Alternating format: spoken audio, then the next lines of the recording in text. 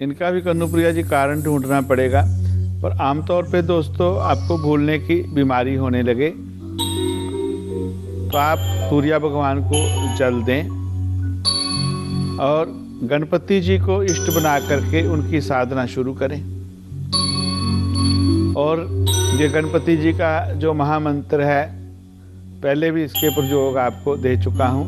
फिर मैं मंत्र बता रहा हूँ। ॐ नमो सिद्धि विनायकाय सर्व कार्य कर्तरे सर्व भिन्न सिद्धिविनायकाय सर्वकार्यकर्तरे सर्वविघ्नप्रशमनाय सर्वराज्यवश्यकरणाय सर्वजन, सर्वस्त्रीपुरुषाकर्षणाय। श्रीं ॐ स्वाहा। इस मंत्र का दोस्तों, सुबह नौ बजे के बाद जाप करना है। और शाम को चार बजे से पहले पहले जाप करना है। तो इस मंत्र की एक माला का जाप करें। और जाप करने के पश्चात कुछ पॉइंट्स अपने लिख लें। जो भी आप लिखना चाहें। कोई आपके कारोबार की बात हो, कोई क्वेश्चन हो, कोई दूसरी बात हो। जिसको आपको लगता था कि बार बार ये चीज़ें भूली हैं मुझसे।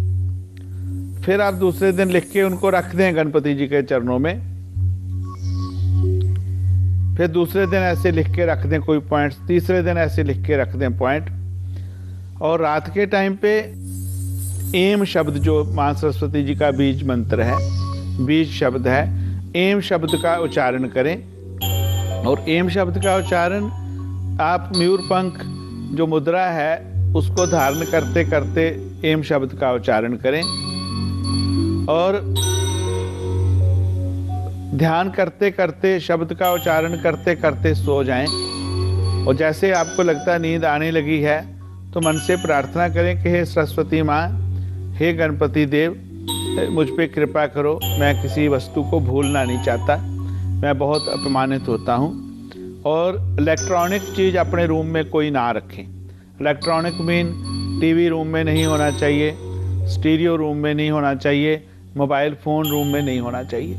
रखें तो बंद करके रखें। अगर टीवी रखा है तो उसका मेन स्विच बंद करके रखें। जो मेन स्विच बंद नहीं करेंगे तो रेजे जाने में बाधा होती है। अपने रूम में ग्रीन प्लांट्स रखें। और आपके जन्मदिन के ऊपर माँ सरस्वती जी की पूजा करें।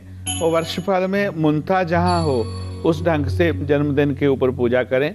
जैसे आपको आपके एस्ट्रोलॉजर बताएँ।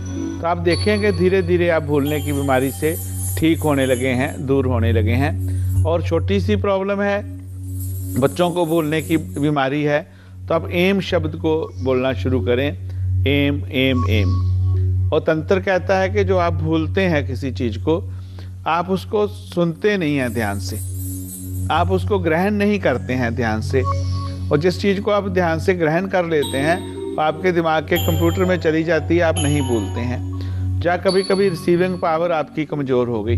तो जब हमारे लिप्स नहीं हिलते हैं, हम एम शब्द को बोलते हैं, और इसमें थोड़ी सी दोस्तों, एक ध्यान रखना पड़ेगा कि जहाँ भूलने की बात है तो आप ऐसे रीढ़ की हड्डी को सीधा करके बैठें। आप चेयर में बैठें, आसन में बैठें तो रीढ़ की हड्डी को सीधा करके बैठें। बेड में बैठें तो रीढ़ की हड्डी को सीधा करके बैठें। फिर जब लेट जाएँ तो जैसे भी हो।